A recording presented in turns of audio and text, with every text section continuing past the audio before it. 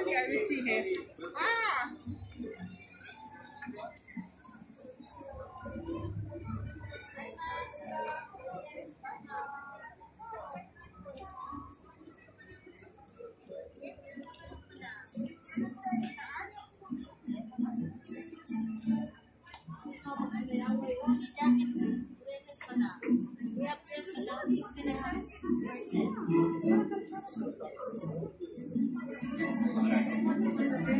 Thank